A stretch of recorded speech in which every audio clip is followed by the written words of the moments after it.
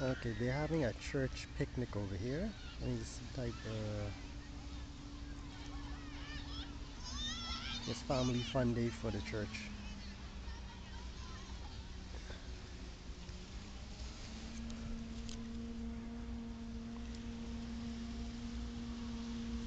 And over there is not jet skiing, it's not parasailing, they're just pulling that guy along on his little boat.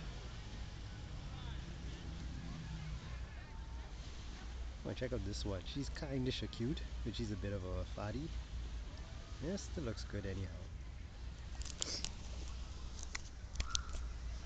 Yep, then this is me.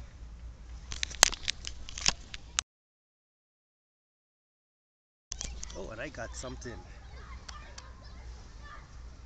I just got this from from the sea.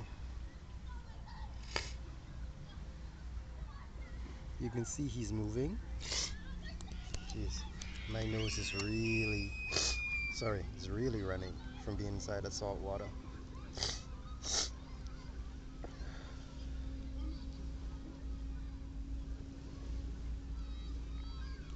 I can't keep him out here too long or else he is going to kaput.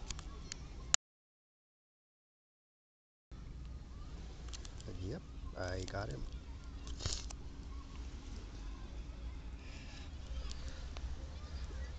Tried to keep one of the yeah, he's starting to secrete. I tried to keep one of these inside a inside a water cooler at our house before but it died after a few days. I didn't realize that okay yeah they need salt water not tap water. So it died after a few days. It became all soft and mushy and started to smell.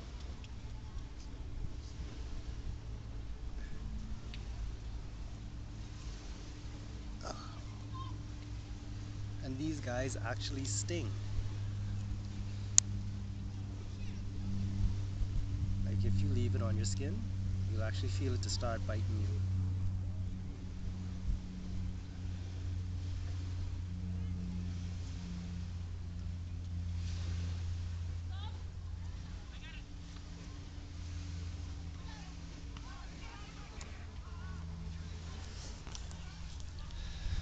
Keep this on shore for a while.